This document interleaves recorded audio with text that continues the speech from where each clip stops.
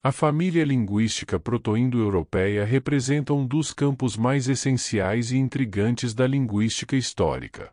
Através da análise meticulosa e comparativa das línguas indo-europeias, os linguistas têm reconstruído uma protolíngua hipotética conhecida como proto-indo-europeu, que é considerada o ancestral teórico comum das línguas faladas pelos antigos povos indo-europeus.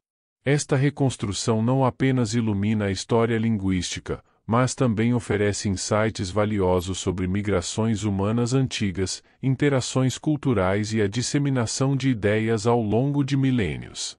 A busca pelas origens das línguas indo-europeias marca um importante capítulo na história da linguística comparativa. No final do século XVIII e início do século XIX, estudiosos começaram a perceber notáveis semelhanças estruturais e vocabulares entre línguas aparentemente não relacionadas, como o sânscrito, o grego, o latim, o germânico, o eslavo e outras línguas da Europa e da Ásia. Essas observações inauguraram o campo da linguística comparativa, levando ao reconhecimento de que essas línguas compartilhavam uma ancestralidade comum. Um dos primeiros linguistas a contribuir significativamente para essa descoberta foi Sir William Jones, um filólogo britânico, que em 1786 observou que o sânscrito, o grego e o latim compartilhavam semelhanças estruturais que não podiam ser atribuídas ao mero acaso. Ele propôs que essas línguas derivavam de uma fonte ancestral comum. Rasmus Haas, um filólogo dinamarquês, expandiu essas observações ao incluir línguas eslavas e germânicas em suas análises. Com base nessas percepções pioneiras, Linguistas posteriores como Franz Bopp e August Schleicher desenvolveram teorias mais elaboradas sobre a protolíngua indo-europeia. Bopp, em particular, publicou trabalhos detalhados nos quais comparava sistematicamente as línguas indo-europeias, identificando correspondências regulares no vocabulário e na gramática. Ele estabeleceu os fundamentos para o método comparativo, que se tornou a pedra angular da reconstrução do proto-indo-europeu. O método comparativo envolve analisar os sistemas fonológicos, morfológicos e sintáticos das línguas indo-europeias modernas em busca de padrões recorrentes. Ao identificar correspondências regulares entre os sistemas linguísticos, os linguistas podem inferir quais eram os padrões linguísticos na protolíngua ancestral. Essas correspondências fornecem pistas valiosas sobre a estrutura e a evolução das línguas ao longo do tempo. Além das semelhanças no vocabulário básico, como palavras para membros da família, partes do corpo e números, os linguistas descobriram correspondências fonológicas e morfológicas mais sutis. Por exemplo, certas mudanças sistemáticas nos sons consonantais e nas terminações de palavras são consistentes em várias línguas indo-europeias, o que indica uma origem comum para esses padrões linguísticos. A reconstrução do proto-indo-europeu não é um processo estático, mas um campo de pesquisa dinâmico. Com o avanço da tecnologia e das metodologias linguísticas, os linguistas continuam refinando nossa compreensão dessa antiga protolíngua e das culturas das quais ela emergiu. Esta abordagem comparativa não só nos ajuda a reconstruir a história linguística, mas também lança luz sobre os movimentos migratórios e as interações culturais que moldaram as sociedades antigas. O proto-indo-europeu é reconstruído como uma língua altamente morfológica, caracterizada por um sistema complexo de flexão nominal e verbal que reflete uma sofisticada organização gramatical. Aqui estão detalhes adicionais sobre suas principais características linguísticas. 1. Sistema de casos gramaticais. O proto-indo-europeu é conhecido por seu sistema elaborado de casos gramaticais. Os oito casos reconstruídos incluem nominativo, usado principalmente para o sujeito de uma frase ou a predicativo do sujeito. Acusativo, usado para o objeto direto de um verbo transitivo. Genitivo, indicando posse ou relação de um substantivo com outro. Dativo, indicando o destinatário ou beneficiário de uma ação. Instrumental, utilizado para indicar o instrumento ou meio pelo qual uma ação é realizada. Ablativo, indicando origem, separação ou causa. Vocativo, utilizado para chamar ou dirigir-se diretamente a alguém ou algo. Locativo, indicando localização ou posição em relação a algo. Esses casos gramaticais são marcados por terminações específicas adicionadas aos substantivos, refletindo relações gramaticais precisas dentro da frase. O proto-indo-europeu tinha três gêneros gramaticais: masculino, feminino e neutro. Os substantivos e adjetivos concordavam em gênero com outros elementos na frase. Por exemplo, o artigo definido e os adjetivos concordavam em gênero com o substantivo que modificavam. O sistema verbal do proto-indo-europeu era altamente desenvolvido, com verbos conjugados para pessoa, número, tempo, aspecto e modo. Os verbos eram flexionados em diferentes formas para indicar quem está realizando a ação, quantos estão envolvidos, quando a ação ocorreu, como foi realizada e a atitude do falante em relação à ação. Em termos fonológicos, o proto-indo-europeu possuía um conjunto diversificado de sons consonantais e vocálicos. Isso incluía consoante occlusiva, como P, T, K, fricativa, como S e H, nasais, como M, N, liquida, como L, R, semivogué, como W, I. Além disso, o proto-indo-europeu tinha uma distinção entre fonemas surdos e sonoros em sua fonologia. Sistema de acentuação tônica. O proto-indo-europeu possuía um sistema de acentuação tônica, onde uma sílaba específica em uma palavra recebia mais ênfase ou destaque. Essa acentuação podia influenciar o desenvolvimento fonológico das palavras ao longo do tempo. Essas características linguísticas complexas do proto-indo-europeu refletem um sistema gramatical sofisticado que oferece insights valiosos sobre a evolução das línguas indo-europeias e suas estruturas linguísticas. O estudo detalhado dessas características não apenas ajuda na reconstrução da protolíngua ancestral, mas também na compreensão das raízes linguísticas e culturais das sociedades indo-europeias antigas.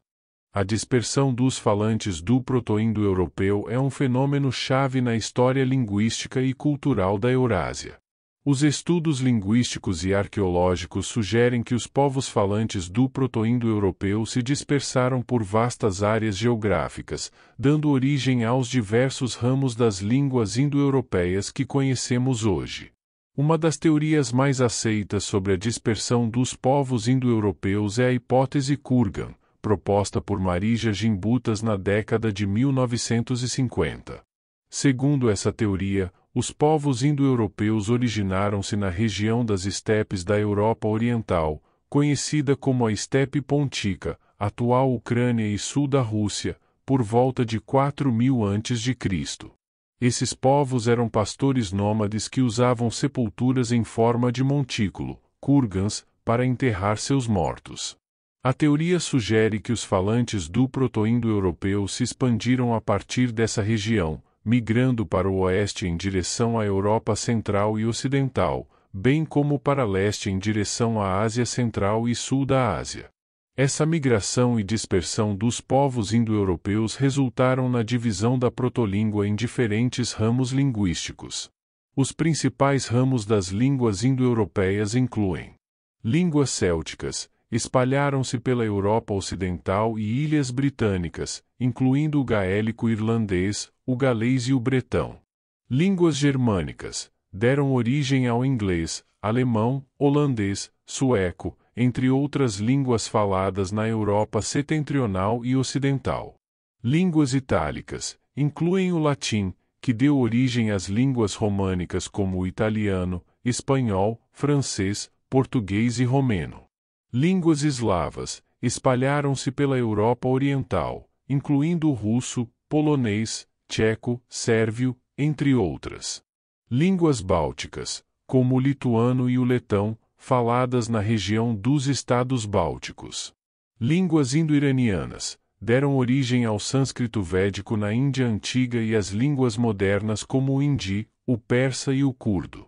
A diversificação das línguas indo-europeias foi influenciada por vários fatores, incluindo migrações posteriores, interações culturais com populações locais, efeitos de isolamento geográfico e mudanças sociais e políticas ao longo dos séculos.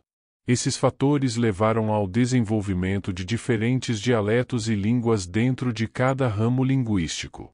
A dispersão e diversificação das línguas indo-europeias tiveram um profundo impacto na história e cultura das regiões onde essas línguas foram estabelecidas. O latim, por exemplo, foi a língua do Império Romano e deixou um legado duradouro nas línguas românicas da Europa. Da mesma forma, as línguas germânicas influenciaram significativamente o desenvolvimento da cultura e sociedade na Europa Ocidental. Em resumo, a dispersão e diversificação das línguas indo-europeias são testemunho da complexa história migratória e cultural dos povos antigos da Eurásia. Esses processos linguísticos não apenas refletem a evolução das línguas ao longo do tempo, mas também proporcionam insights valiosos sobre a história e as interações entre diferentes grupos étnicos e culturais ao longo da história humana. As línguas indo-europeias tiveram um impacto significativo na história e na cultura globais, influenciando profundamente as sociedades em que foram adotadas e contribuindo para a difusão de conhecimento, comércio e intercâmbio cultural em todo o mundo. Abaixo estão alguns detalhes sobre o impacto e o legado das línguas indo-europeias mais proeminentes. O latim, como língua do Império Romano, exerceu uma influência duradoura sobre a Europa e além. Após o declínio do Império Romano, o latim evoluiu para as línguas românicas, como o italiano, espanhol, francês, português e romeno. Essas línguas mantiveram muitas características do latim e se tornaram veículos importantes para a literatura, ciência, filosofia e religião na Europa medieval e além. O legado do latim está profundamente enraizado na cultura e na educação europeia até os dias atuais. O sânscrito antigo, uma língua indo-europeia clássica, desempenhou um papel fundamental no desenvolvimento espiritual, literário e filosófico do sul da Ásia. Ele é a língua sagrada do hinduísmo e do budismo e foi usada para compor textos religiosos e filosóficos importantes, como os Vedas e os Upanishads. Além disso, o sânscrito influenciou profundamente as línguas indo-arianas modernas, como o hindi, o bengali, o gozerati e o urdu. O sânscrito também contribuiu para o desenvolvimento de sistemas linguísticos e filosóficos sofisticados na Índia antiga. O inglês, uma língua germânica originada na Inglaterra, tornou-se uma língua franca global devido ao impacto do Império Britânico e, posteriormente, da influência cultural e econômica dos Estados Unidos. O inglês é amplamente falado como primeira língua em muitos países ao redor do mundo e é a língua dominante na ciência, tecnologia, comércio internacional e cultura popular. O inglês absorveu um vasto vocabulário de outras línguas, incluindo o latim, o francês e o grego, tornando-se uma língua rica e flexível para a comunicação global. Além do impacto linguístico, as línguas indo-europeias contribuíram para o desenvolvimento cultural e intelectual em todo o mundo. Elas facilitaram a troca de ideias, o comércio e o desenvolvimento de literatura, filosofia, ciência e tecnologia ao longo da história. As línguas indo-europeias serviram como veículos essenciais para a transmissão de conhecimento e cultura em muitas civilizações antigas e modernas. Em resumo, o impacto e o legado das línguas indo-europeias são evidentes em todos os aspectos da história humana. Elas moldaram sociedades, expandiram fronteiras culturais e contribuíram para a riqueza linguística e intelectual do mundo moderno. O estudo dessas línguas não apenas revela as raízes comuns da humanidade, mas também enriquece nossa compreensão da diversidade e interconectividade das culturas ao longo do tempo. A família linguística proto-indo-europeia é muito mais do que apenas um conjunto de línguas antigas. Ela representa uma chave fundamental para desvendar a história e a evolução das línguas humanas, bem como para compreender os movimentos e interações das civilizações ao longo dos milênios. Vamos aprofundar ainda mais os principais pontos sobre a importância e as implicações do estudo da proto-indo-europeia. Origem das línguas humanas o estudo da proto-indo-europeia nos oferece uma visão privilegiada das origens das línguas faladas por alguns dos primeiros povos da Eurásia. A reconstrução dessa protolíngua ancestral nos ajuda a compreender como as línguas se desenvolvem e se diversificam ao longo do tempo, refletindo os movimentos e migrações das populações humanas pré-históricas. Migrações e interações culturais a dispersão dos falantes do proto-indo-europeu e a diversificação das línguas indo-europeias estão intimamente ligadas aos movimentos migratórios antigos e às interações culturais entre diferentes grupos humanos. O estudo desses padrões de dispersão nos permite reconstruir os eventos históricos que moldaram as paisagens linguísticas e culturais da Eurásia. Evolução das línguas e da cultura. Ao analisar as características linguísticas do proto-indo-europeu e sua evolução em diferentes ramos linguísticos, podemos traçar não apenas a evolução das línguas, mas também a evolução das sociedades e culturas indo-europeias ao longo do tempo. As mudanças linguísticas muitas vezes refletem mudanças sociais, tecnológicas e políticas em larga escala. Diversidade linguística e conexões globais, a família indo-europeia é apenas uma das muitas famílias linguísticas do mundo, cada uma delas representando uma parte única da tapeçaria linguística global. Estudar a proto-indo-europeia nos ajuda a apreciar a diversidade linguística e a entender as conexões profundas entre as línguas e as culturas em todo o mundo. Em última análise, o estudo da família linguística proto-indo-europeia não é apenas uma busca acadêmica por origens antigas, mas uma jornada para compreender a complexidade e a beleza das línguas humanas e suas implicações históricas e culturais. Ao explorar essas línguas antigas e suas ramificações modernas, enriquecemos nossa compreensão da humanidade e de como a linguagem continua a moldar e conectar nossas vidas no mundo contemporâneo.